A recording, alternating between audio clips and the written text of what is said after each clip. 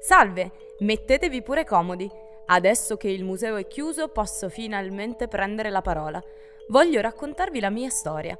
Io sono l'alca in penne, sono un, anzi, ero un uccello.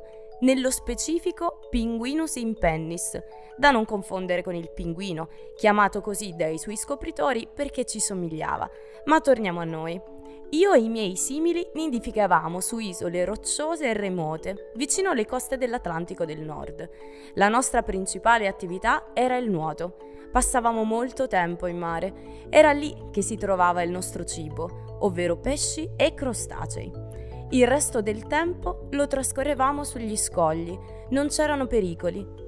A parte uno, l'uomo. Iniziò a cacciarci fin dalla preistoria All'inizio lo faceva raramente, ma dall'VIII secolo la caccia divenne più intensiva. Non servivamo più solo come cibo. Usavano il nostro grasso per fare olio per lampade e le nostre piume diventavano cuscini. La cosa andò avanti per secoli. Non potevamo fuggire perché le nostre ali erano troppo piccole per il volo e le zampe palmate poco adatte alla terraferma. A tutto questo si aggiunse un periodo di lungo freddo, la piccola glaciazione, che durò circa 500 anni, dal XIV al XIX secolo. Lentamente la nostra popolazione è stata decimata. Gli ultimi di noi erano diventati merce rara. Eravamo talmente in pochi che da tutto il mondo i collezionisti pagavano per farci cacciare.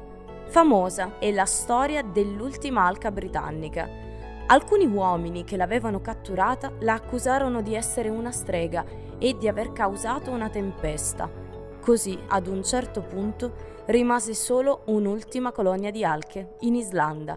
Vivevano riparate in cima a una scogliera. Un giorno, però, una forte mareggiata le costrinse a fuggire verso un punto più esposto. Gli ultimi esemplari di quella colonia, una coppia e il loro uovo, vennero presi nel 1844 per conto di un mercante. Fine. Qui si chiude la storia dell'alca in penne. Non è esattamente un lieto fine. Io sono l'unico animale estinto in questa collezione, ma altre specie rischiano di incontrare il mio stesso destino a causa dell'uomo.